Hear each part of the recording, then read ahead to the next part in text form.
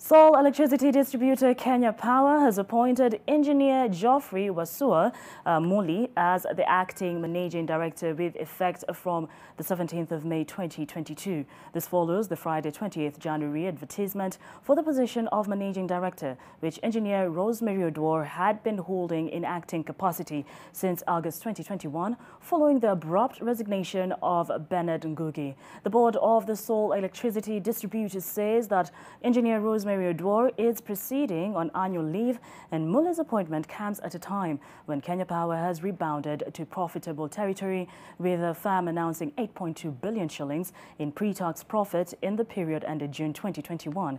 Kenya Power is one of the state-owned enterprises earmarked by the International Monetary Fund for reforms under the current Kenya IMF program.